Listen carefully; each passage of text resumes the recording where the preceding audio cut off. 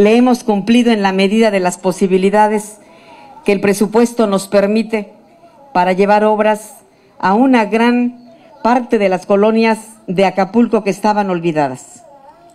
En colonias donde no había pasado la mano del gobierno, hemos estado nosotros llevándoles obras, porque una obra como esta eleva el precio de todas las casas que están aquí.